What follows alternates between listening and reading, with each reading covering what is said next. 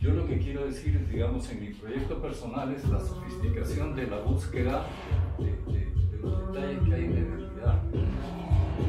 Pero creo que la, la, música latina tiene mucho para, muchos nuances y texturas y, y pequeños este, ritmos que parecen que estuvieran afuera, pero en verdad se siente porque ya tenemos ese groove, ese, ese ritmo adentro. Están los festivales familiares de mediodía, digamos, donde están los abuelos, están los tíos, están los jóvenes, los sobrinos, los nietos, y toco cumbia digital y está bailando el abuelo, está bailando los sobrinos, entonces están todos juntos.